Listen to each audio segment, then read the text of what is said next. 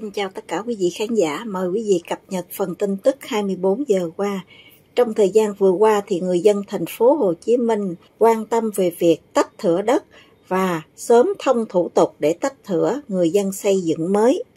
Và đồng thời đất trồng lúa mà trồng cây lâu năm có bị phạt hay không? Xin mời tất cả quý vị khán giả theo dõi chi tiết sau đây. Thông tin về việc thành phố Hồ Chí Minh ban hành bảng giá đất điều chỉnh chậm nhất vào ngày 20 tháng 10. Sở Tài nguyên và Môi trường thành phố Hồ Chí Minh đang hoàn thiện dự thảo quyết định điều chỉnh bảng giá đất để trình Ủy ban nhân dân thành phố Hồ Chí Minh ban hành chậm nhất trước ngày 20 tháng 10. Thông tin trên được đại diện Sở Tài nguyên và Môi trường thành phố Hồ Chí Minh trao đổi tại hội nghị của đoàn đại biểu Quốc hội thành phố Hồ Chí Minh làm việc với Ủy ban nhân dân thành phố Hồ Chí Minh về tình hình kinh tế, xã hội Việc thực hiện Nghị quyết 98, Nghị quyết 57 của Quốc hội và các nội dung đăng ký thông qua kỳ họp thứ 8 Quốc hội khóa 15. Trước đó thì báo cáo với Hội đồng Nhân dân thành phố Hồ Chí Minh, Quỹ ban Nhân dân khẳng định đã ban hành bản giá đất điều chỉnh trước ngày 15 tháng 10 năm 2024.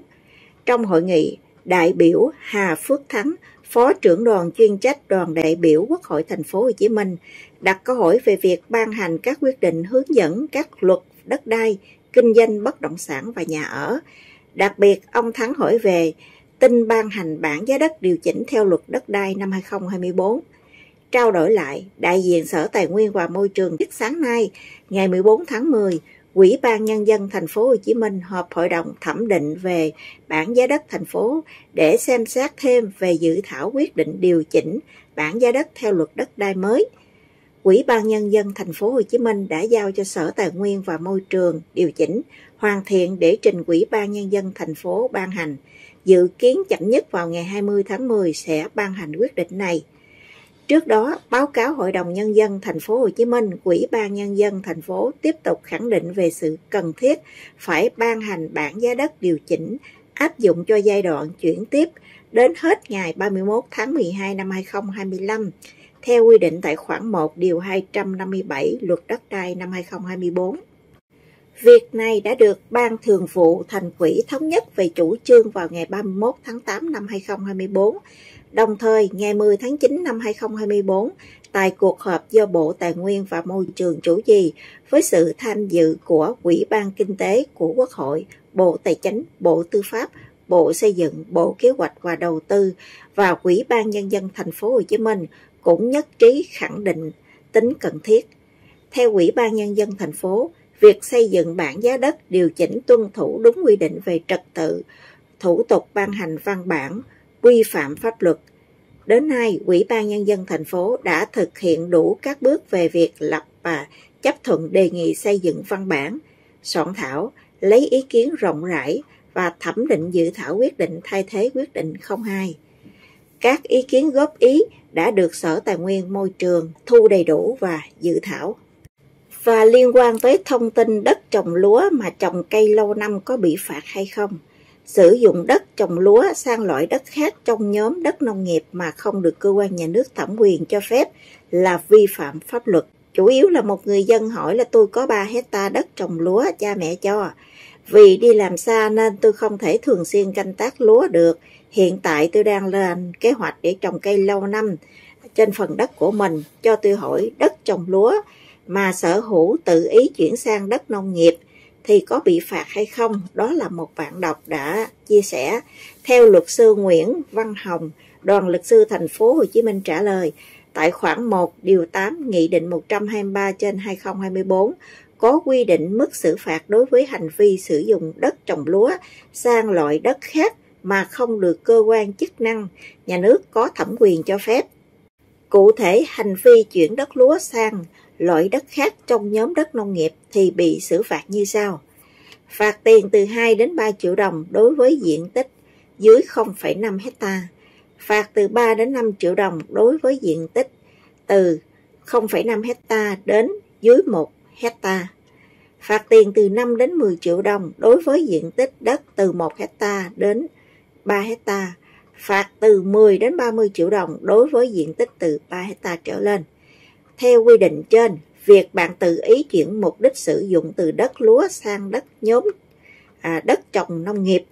thì sẽ bị phạt hành chính với mức phạt như đã nêu trên.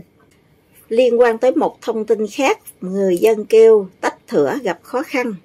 và đồng thời người dân cũng hy vọng sớm thông thủ tục liên quan đến tách thửa và đất dân cư xây dựng mới. Đã có nhiều chỉ đạo của lãnh đạo Ủy ban Nhân dân thành phố nhưng đến nay các sở vẫn chưa thể hoàn thành thủ tục và những thủ tục để cho người dân thời gian qua chờ đợi về việc tách thửa xây dựng mới. Thủ tục hành chánh nhất là về vấn đề đất đai, xây dựng được coi là một trong những mạch máu quan trọng góp phần vào sự phát triển kinh tế xã hội. Tuy nhiên một số trường hợp sự ách tắc kéo dài và việc y ạch tháo gỡ khiến người dân, doanh nghiệp ngóng trong từng ngày. Về việc tách thửa gặp khó khăn, đầu tháng 8 năm 2024, Giám đốc Sở Tài nguyên và Môi trường thành phố Hồ Chí Minh, ông Nguyễn Toàn Thắng cho biết Sở đang hoàn thành dự thảo quyết định thay thế quyết định 60 năm 2017 quy định diện tích tối thiểu được tách thửa để chuyển sang Sở Tư pháp thẩm định trình Ủy ban Nhân dân thành phố Hồ Chí Minh ban hành. Các thủ tục cố gắng hoàn thành vào tháng 8 năm 2024. Tuy nhiên, đến nay đã 2 tháng, quyết định thay thế vẫn chưa thể ban hành. Việc tách thửa đất có hình thành đường giao thông tại thành phố Hồ Chí Minh đã tắt nghẽn từ tháng 4 năm 2021 sau văn bản đề nghị tạm ngừng của Sở Quy hoạch và Kiến trúc. Lãnh đạo thành phố Hồ Chí Minh nhiều lần chỉ đạo sớm hoàn thiện và trình tự để xem xét ban hành quyết định thay thế quyết định 60, nhưng hơn 3 năm qua vẫn chưa ban hành, người dân mòn mỏi chờ đợi.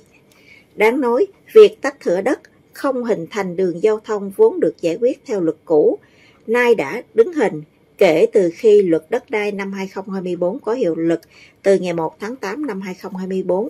còn thủ tục tách thửa, hợp thửa đất tại thành phố Hồ Chí Minh đứng toàn bộ.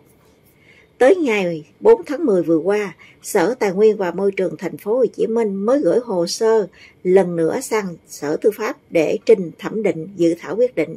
trước khi trình Ủy ban Nhân dân thành phố xem xét ban hành. Trước đó thì Sở Tư pháp ít nhất đã hai lần gửi công văn góp ý về dự thảo quyết định điều kiện tách thửa và hợp thửa. Nhiều người đặt câu hỏi tại sao trước một vấn đề cấp bách Sở vẫn còn chậm chậm gửi văn bản trao đổi qua lại với nhau, trong khi nếu cần thiết có thể tổ chức một cuộc họp với đầy đủ sở ngành, quận quyện để mổ xẻ, kiến nghị toàn bộ nội dung có liên quan, sau đó chỉnh sửa sớm trình Ủy ban Nhân dân thành phố ban hành. Hiện tại hơn 12.000 ha đất dân cư xây dựng mới đang chờ tháo gỡ. Về việc tắt nghẽn thủ tục tách hợp thửa cho thấy có cả sự khúc mắc, những nỗi lo, quản lý, câu chữ trong quy định. Hai nội dung dự thảo quyết định thay thế vẫn còn sửa đi sửa lại về điều kiện quy hoạch và quy định lối đi khi tách thửa và hợp thửa. Quy định điều kiện về quy hoạch đã được bỏ khi luật đất đai mới có hiệu lực không còn quy định về điều kiện quy hoạch tách thửa, hợp thửa, nhưng hiện tại các sở vẫn đang cân nhắc và bàn thảo nhiều lần. Tương tự, điều kiện lối đi trong luật mới đã quy định rõ khi tách thửa, hợp thửa phải có lối đi.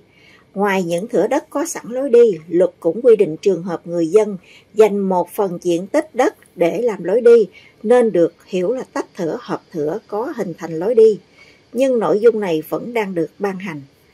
Trong nhiều hội thảo, tọa đàm trừ trước tới nay, các chuyên gia cũng đề xuất cần có quy định quy chuẩn, tiêu chuẩn về hệ thống điện, đường, thoát nước vân vân khi tách thửa hợp thửa. Những quy chuẩn đó sẽ dễ dàng đưa ra khi gắn với điều kiện về phòng cháy chữa cháy cấp thoát nước đô thị.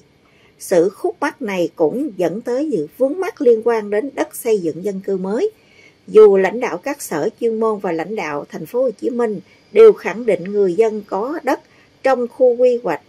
chức năng này được chuyển sang mục đích để xây dựng nhà ở. Nhưng thế nhưng thực tế, cho đến nay người dân vẫn chưa được tháo gỡ vướng mắt hơn 12.000 ha đất dân cư xây dựng mới của người dân, đứng hình quyền lợi của người dân đến giờ vẫn chưa được tháo gỡ. Luật đất đai năm 2024 quy định doanh nghiệp chỉ được mua 100% đất ở để làm dự án nhà ở thương mại. Bài toán con gà quả trứng, nếu chưa cho người dân chuyển mục đích thì lấy đâu ra mà bán cho doanh nghiệp và hiện tại thì chưa tìm được giải pháp quản lý quy hoạch phù hợp. Nhiều chuyên gia quy hoạch, xây dựng và pháp lý nhìn nhận về việc sở, ngành thành phố Hồ Chí Minh bàn luận nhiều lần nhưng chưa tháo gỡ tắc nghẽn thủ tục tách hợp thửa và chuyển mục đích, có thể đang tìm kiếm một giải pháp quản lý quy hoạch xây dựng phù hợp. Qua bàn luận có thể thấy nỗi lo của sở, ngành, thành phố Hồ Chí Minh nếu không quy định điều kiện tách thửa hợp thửa hay là chuyển mục đích đối với dân cư xây dựng mới, cẩn thận sẽ có nguy cơ phá vỡ quy hoạch, hình thành nên những khu dân cư tự phát. Nỗi lo này hợp lý nhưng đáng lý ra giải pháp đưa ra cần quy định cụ thể, bài bản quy định chuẩn, tiêu chuẩn xây dựng, hệ thống đường, điện, thoát nước để quản lý chặt chẽ hơn. Cảm ơn quý vị khán giả đã theo dõi phần tin tức.